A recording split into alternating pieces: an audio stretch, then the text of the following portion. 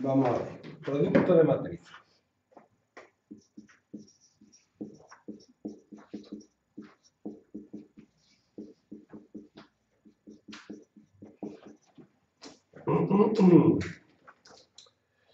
Para que dos matrices se puedan multiplicar, el número de columnas de la primera tiene que ser igual al número de filas de la segunda. Si tengo que tener una matriz m por n, la puedo multiplicar por una que sea n por b.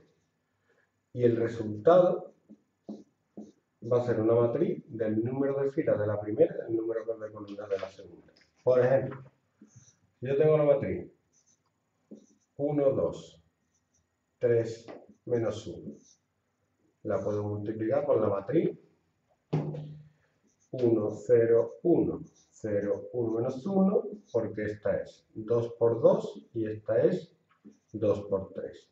Como este número es igual que este, puedo multiplicarla y me va a salir una matriz de 2 por 3.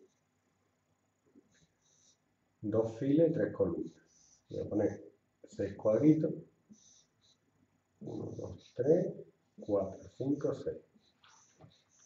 Para el resultado de la primera fila, primera columna, se multiplica primera fila por primera columna. Elemento por elemento y se suma 1 por 1 más 2 por 0.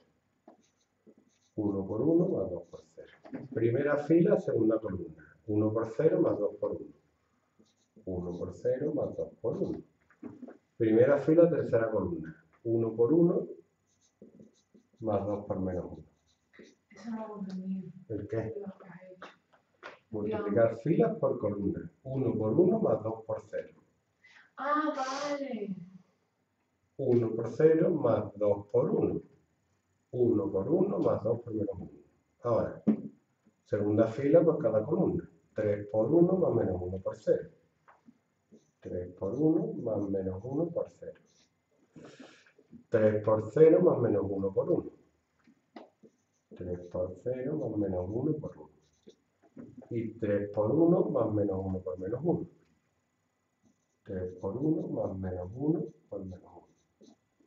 Sería 1, 2, menos 1, 3, menos 1, 4. ¿Vale? Ya está, esto no tiene nada. Fila por columna. Siempre puedo multiplicar una de 3 por 3.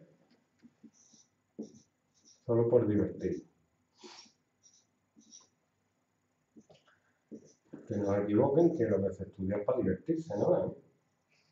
Si no estudia para divertirse, pues tiene un problema de concepto. Gente que estudia para tener una plaza de profesor y. No, hombre. Luego llegan y a los alumnos no, como ellos no son divertidos, pues no les transmiten la diversión. ¿Cómo sería esto? 1 por 2. Fila por columna. 1 por 2 más 0 por menos 1 más menos 1 por 0. 1 por 2, 2. 1 por 1, 1. 0 menos 2 menos 1.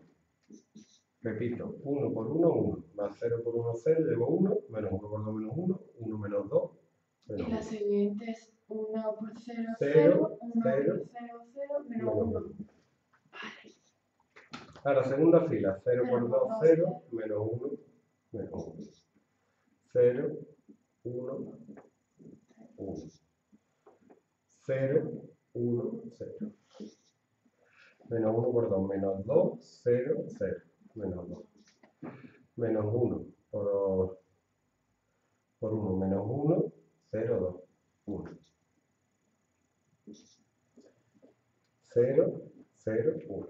Ya está. Ha podido multiplicar porque esta es 3 por 3. Esta es 3 por 3. Este número es igual que este y que sale una matriz de 3 por 3.